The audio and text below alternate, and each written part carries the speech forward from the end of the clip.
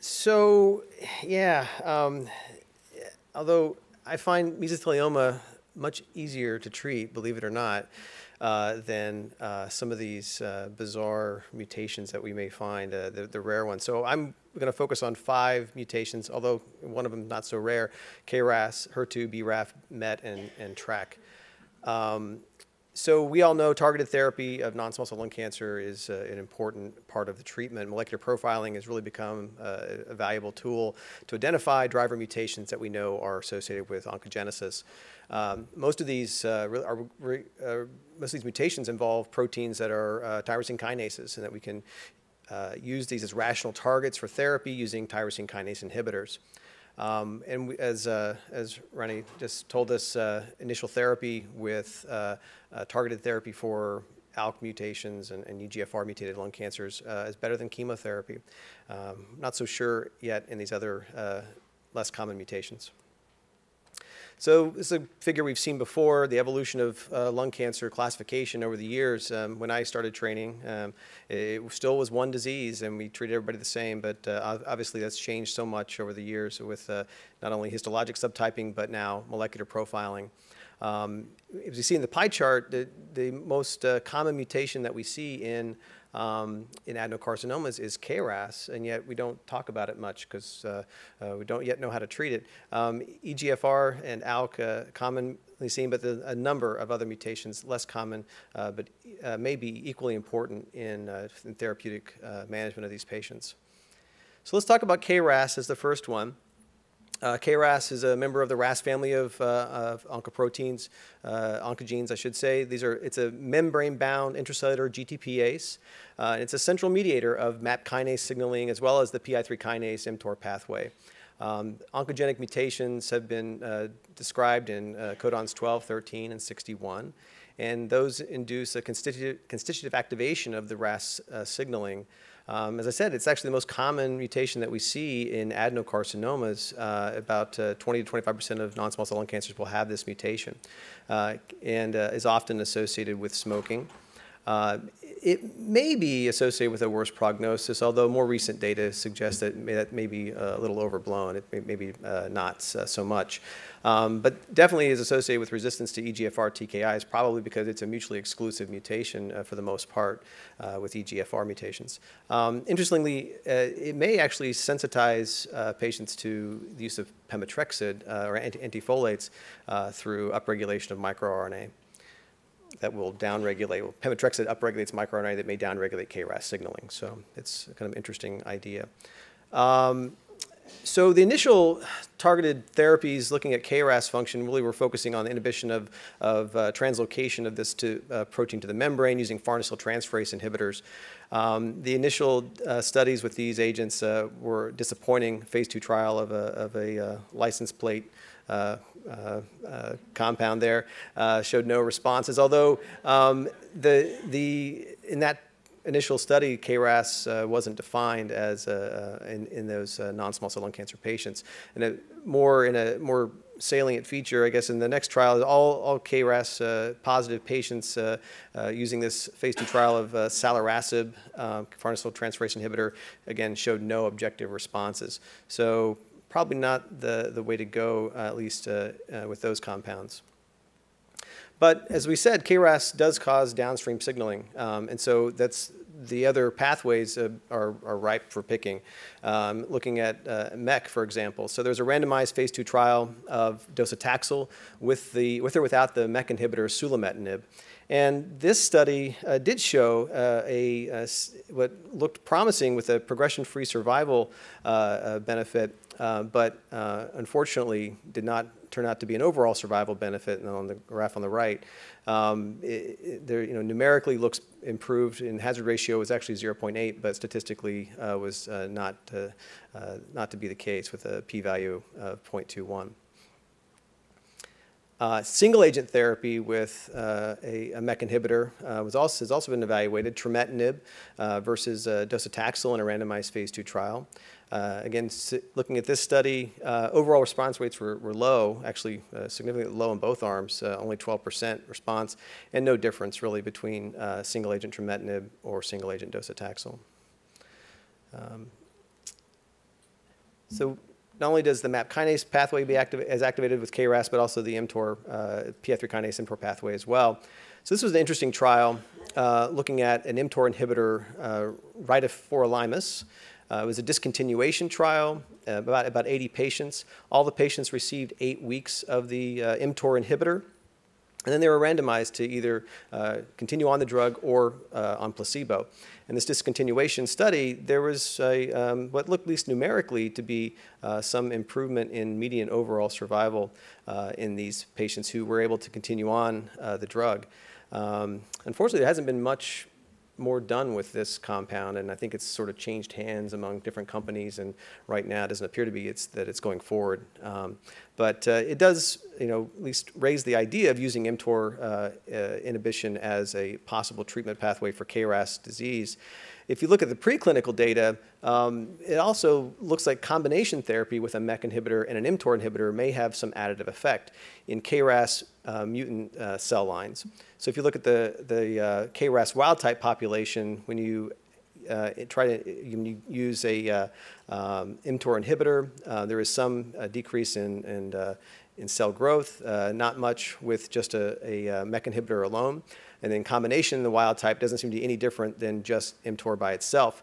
But in the KRAS mutant patient or uh, cell population, uh, you can see that there seems to be additive effects when you add a uh, MEK inhibitor, mTOR inhibitor, and then the both, uh, uh, both agents in the far right uh, column.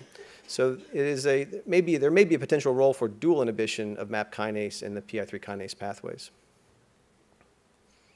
So where are we now? Well, the current standard of care is still just uh, chemotherapy or immunotherapy, uh, same as KRAS wild type.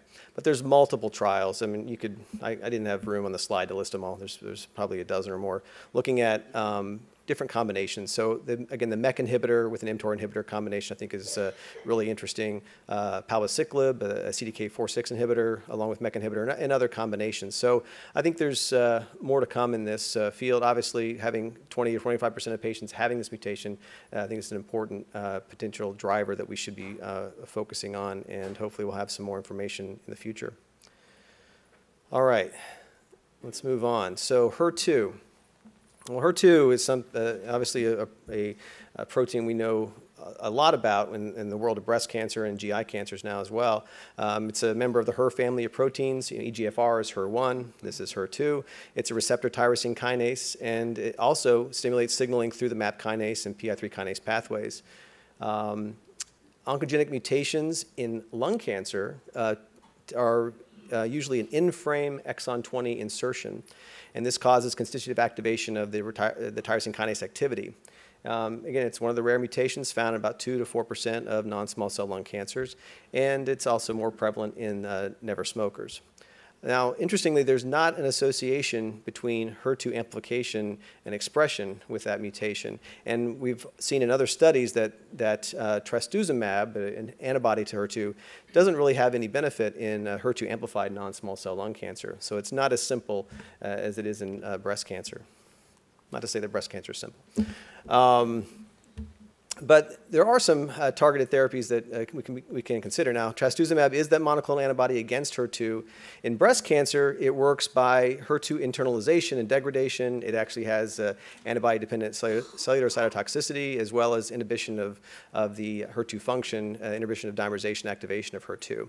Now, there's very limited data in trastuzumab with uh, exon 20 insertion HER2. Um, there is a retrospective study that was uh, presented uh, uh, that about 15 patients, which showed a disease control rate of about 96%. And so that's really most of the data that we have for trastuzumab um, in lung cancer. Um, so it, it, certainly looks um, like there could be some potential there. Um, we'll have to wait and see. Now, afatinib, as we talked about a lot today already, is a pan-HER inhibitor. So it not only hits, inhibits HER1, EGFR, it also inhibits HER2, uh, and with the irreversible uh, activity. Uh, so there is, again, limited data in, in HER2 exon 20 insertion non-small cell lung cancer. In the waterfall plot on the left, um, I want to focus your attention on the green bars, if you can it's maybe hard to tell. There's only seven patients. This was a, a number of different cohorts, but the non-small cell lung cancer is the green bars. Um, what's interesting, it's only seven patients, but five of these patients had, uh, uh, they're all below the bar, uh, you know, as far as uh, response, so at least having some benefit. One of them was an unconfirmed PR. Um, so it, again, suggests that there may be some activity of uh, afatinib in these HER2 exon 20 insertion uh, non-small cell lung cancer patients. So where are we now with HER2 uh, disease? Uh, so for HER2, uh, for HER2 mutated uh, exon 20 insertion, um, that's an important part, um, non-small cell lung cancer, it's reasonable to consider a HER2-directed therapy after progression on chemotherapy. Afatinib is listed uh, in the NCCN guidelines with a category 2B recommendation, as is trastuzumab there's a lot of other trials looking at uh, HER2 uh, inhibitors, neratinib, dacomitinib, as well as uh, uh TDM1 uh, uh, for this patient population. And you know, it's it's a rare mutation. It's hard to do large studies, but hopefully we'll have some more information in the future for this. All right, moving on. BRAF. Uh, so it's sort of a theme here. BRAF is a is a, a, mediator, a downstream mediator of KRAS signaling. Um, and again, it's one of the key components of that MAP kinase pathway. Um, oncogenic mutations have been well described in, in uh, other, other tumor types. Uh, the V600 uh, mutation um, is the uh, most uh, uh, common that we see. Um, it's the V600E would be the most one, common one of those. And this is a commonly seen in light smokers and never smokers. There are non-V600 mutations in BRAF that are seen in more commonly in smokers. Again, these mutations cause a, a, constitutive activation of the BRAF kinase activity and downstream signaling. And this is, again, a rare mutation found in 1 to 3% of non-small cell lung cancers. Uh, perhaps uh, the non-V600 uh, mutations may have a worse prognosis overall, and um, the BRAF mutations may be a mediator of resistance in uh, EGFR mutated uh, cancers as well. So we have good BRAF inhibitors. There, BRAF V600E mutation is commonly seen in melanoma, and so there's um, a number of uh, BRAF inhibitors that are now commercially available. Um, so this was a, a, a, non-small cell lung cancer cohort of a, uh, of a BRAF V600 mutated uh, uh, patients receiving vemurafenib. Uh, as you can see in this waterfall plot, the um, majority of these patients did have uh, some uh, shrinkage of their tumors. Overall response rate in, this, uh, in these 19 patients or 20 patients was 42%. So that looks, again, looks like a, a promising activity. Um, the, another BRAF inhibitor, dabrafenib, uh, also FDA approved for melanoma, for V600E mutated melanoma. Uh, been investigated in a larger phase two trial in uh, the BRAF V600E non-small cell lung cancer. And this showed, again, the waterfall plot you can see, significant patients uh, had, uh, most, maybe two-thirds of the patients had some uh, degree of tumor shrinkage. Overall response rate by RECIST was 33%. Again, that's very encouraging and with a manageable toxicity profile. Progression-free survival in, in, these patients was oh, about five and a half months. Um, but I think even more exciting is combination therapy with dabrafenib uh, and trametinib, so a BRAF inhibitor plus a MEK inhibitor. Uh, in, in, extrapolation from data in melanoma, the combination therapy with these two agents in BRAF mutated melanoma showed improved responses and survival.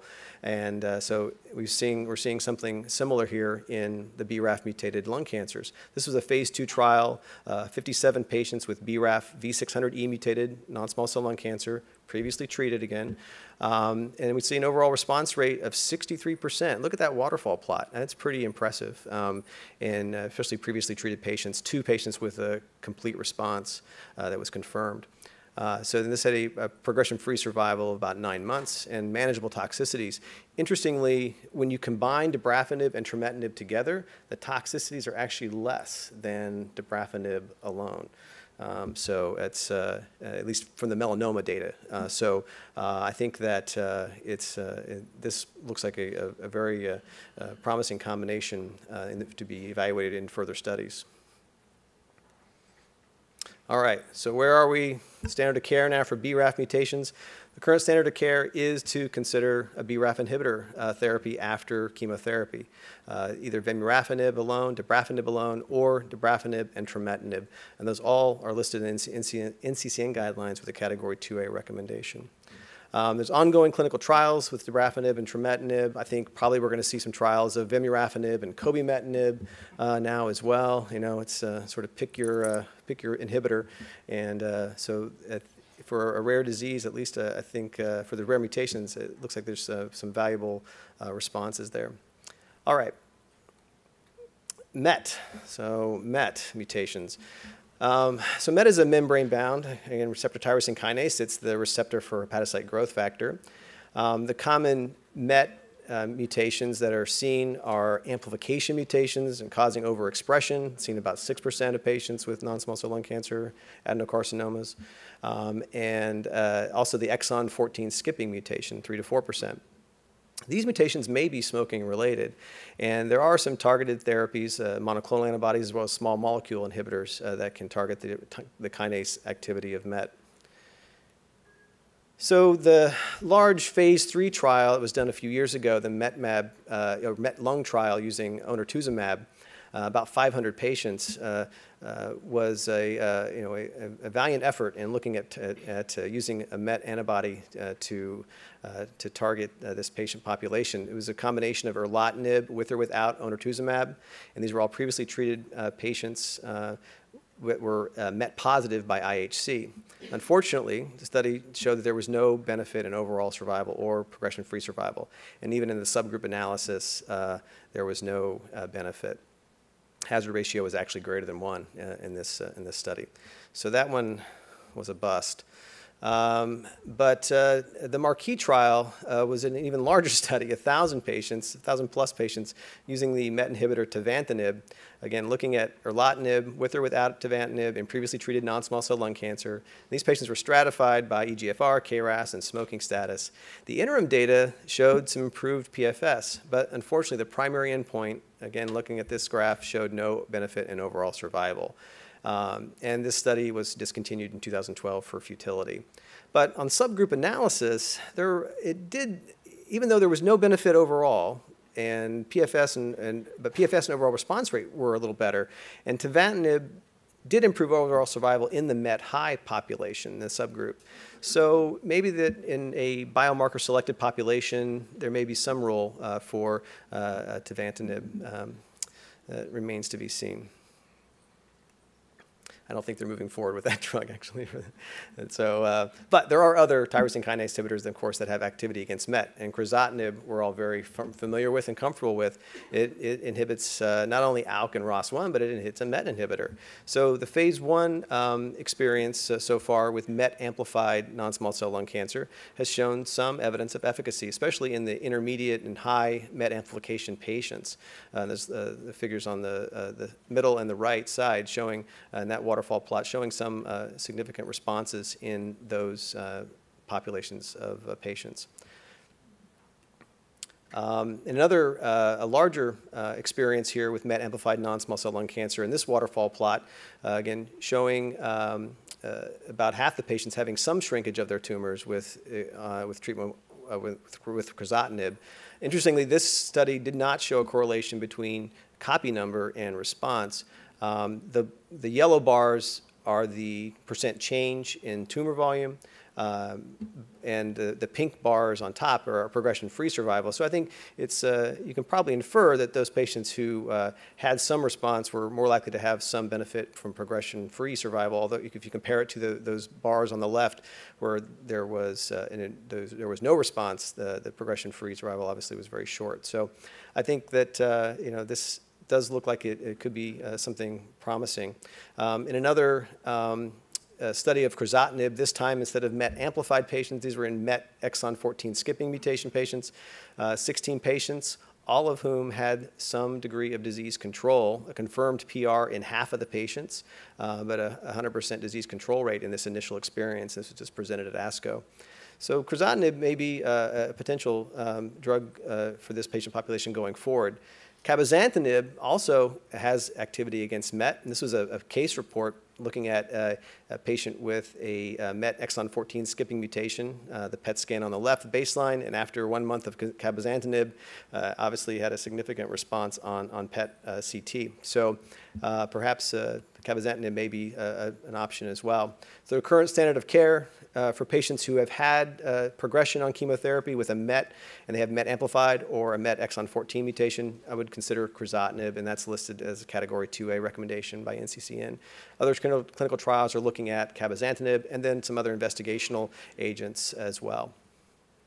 All right, I'm running short on time, but last section NTRK. So I gotta tell you, I didn't know much about NTRK when I was asked to do this section. So it was really interesting. This, this TRK mutation, the TRK family of genes, been around for a long time as far as knowing that they're oncogenic since the 1980s. Um, but more recently, it's been discovered that NTRK fusions uh, are, play an important role in oncogenesis. It's found across multiple malignancies, not just lung cancer. Uh, NTRK, there's three NTRK proteins. NTRK1 is the uh, uh, NTRK1, I, said, in, I should say three NTRK genes. NTRK1 gene uh, fusions are more common in non-small cell lung cancer. And this uh, results in a fusion with the TRK kinase domain uh, with a, another element, and there's, a, there's several different partners, five prime partners that have been described, um, and resulting in constitutive activation of the, of the tyrosine kinase activity. This is, again, found in 3% of non-small cell lung cancer, so not, not trivial, um, and seen in smokers and non-smokers. And now there are TRK inhibitors that are in development that are potentially effective. So here's a, uh, not a lung cancer, but a soft tissue sarcoma uh, that, is, that harbors a NTRK1 fusion.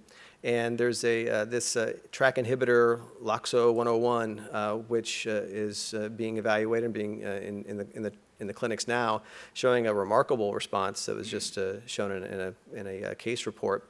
but also in lung cancer, we're seeing uh, responses to TRK inhibitors as well. So here's another case report of a patient with an NTRK1 rearranged non-small cell lung cancer looking at uh, uh, using entrectinib, a NTRK inhibitor um, and uh, seeing response not only uh, in the chest but also in the brain. It's hard to see that, that on the baseline there's uh, two brain mets, both of which uh, disappear by day 26 and stay uh, are still away by day 155.